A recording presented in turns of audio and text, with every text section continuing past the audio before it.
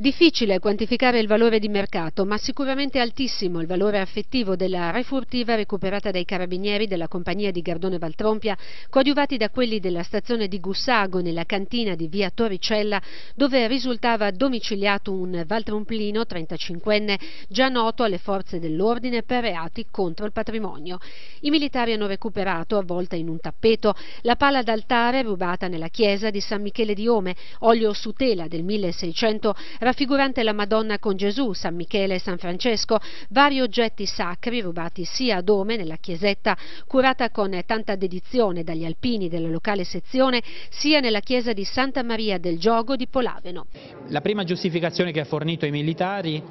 e che si trattava di beni che gli erano stati donati da una zia defunta circa un anno e mezzo prima.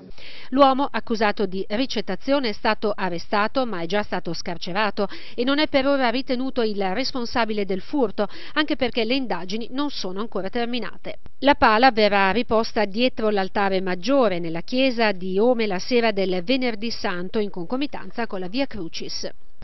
non è disprezzo verso, anche se poi lo viviamo come comunità come disprezzo, loro vivono solo in funzione proprio del tornaconto.